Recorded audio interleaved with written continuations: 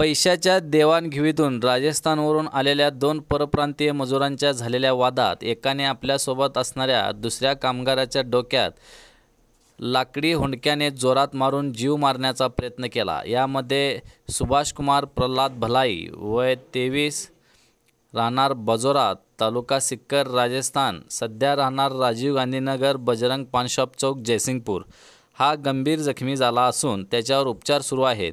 याबाबत घटनास्थळावरून मिळालेली माहिती अशी जखमी सुभाष कुमार व संशयित आरोपी मुकेश वर्मा हे दोघेही परप्रांतीय असून ते फरशीचे काम करतात. हे दोघेही महेश कुमार रामलाल वर्मा वय अडतीस याच्याकडे कामाला आहेत.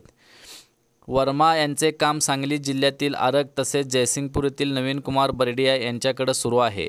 जखमी सुभाष कुमार व संशयित आरोपी मुकेश वर्मा हे दोघेही बर्डिया यांचे गल्ली नंबर आठ येथील बजरंग पान शॉपसमोर असणाऱ्या गोडाऊनमध्ये राहत होते. शनिवारी बावीस ऑगस्ट रोजी ठेकेदार महेश कुमार वर्मा यांनी जखमी सुभाष कुमार यांच्याकडे पगारापोटी पाचशे रुपये दिले. त्यातील जखमी सुभाष कुमारने संशयित मुकेश वर्मा याला शंभर रुपये दिले. मात्र अनेकांनी एकशे पन्नास रुपये देण्यासाठी या दोघांचा वाद झाला.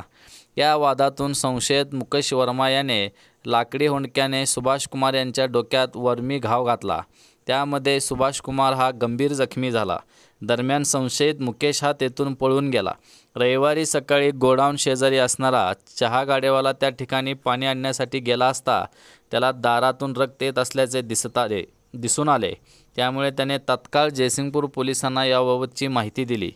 जखमीला तात्काळ सांगली येथील शासकीय रुग्णालयात दाखल करण्यात आले आहे. त्याची प्रकृती गंभीर आहे याबाबत ठेकेदार महेश वर्मा यांनी जयसिंगपूर पोलिसात फिर्याद दिली आहे. नवा महाराष्ट्र न्यूजसाठी ओंकार पिसाळ.